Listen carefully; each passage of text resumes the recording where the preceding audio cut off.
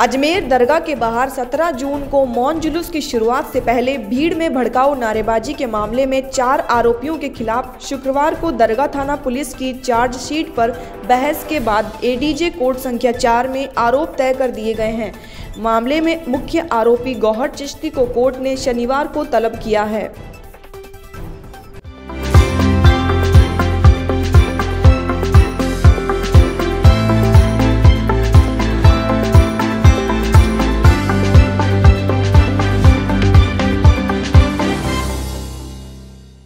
ये 17 जून 2022 की बात है जब दरगाह की सीढ़ी पे गौर चिश्ती वालना ने सर तन से जुदा वाला जो नारा लगाया था उसमें न्यायालय ने चार्जशीट चार्जशीट पीस दी न्यायालय में अनुसंधान अधिकारी ने।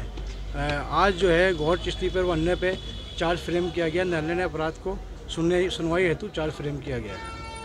जी। जी। आगे तारीख क्या दी गई? तारीख अभी हुई नहीं है तारीख हो जाएगी तो आपको बता देंगे। बाकी न्यायालय इसका विचारण करेगा। न्यायालय ने अपराध मान लिया है। मतलब वो चार्ज के लिए फ्रेम कर दिया। आईपीसी कौन कौन सी आईपीसी तीन सौ दो एक सौ पंद्रह का जो अपराध था भड़काऊ भाषण का उसके लिए अपराध फ्रेम किया है। चार्ज फ्रेम किया है। ठीक। आपका नाम? मेरा नाम गुलाम रजमी फारूकी है मैं पीपी हूँ। ठीक। you.